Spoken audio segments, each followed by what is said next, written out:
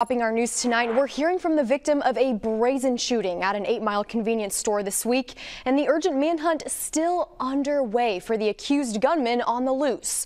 Deputies say 30-year-old Rashad Norwood shot a store owner during a robbery on Tuesday. Now, that victim texted me from his hospital bed today, and this is what he said. Quote, I don't have anything to say other than I was lucky to be alive.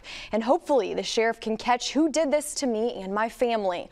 He goes on to say, I am blaming the Prichard police for not putting him in jail the first time he robbed my store.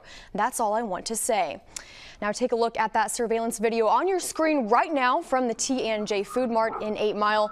The store owner sits on the tailgate of his truck. A man in a blue hoodie walks up to him and pulls out a gun.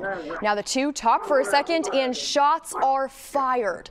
The video was paused when the bullets started flying and picked up when the suspect ran into the store.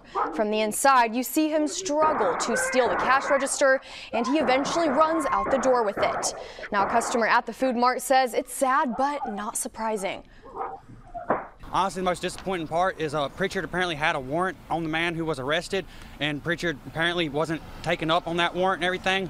To where honestly, it's just no uh, no surprise that something like that happened here. It, of course, it's always horrible when something like that happens, but honestly, you can't even really be surprised because the, the, area is just it, it's like that.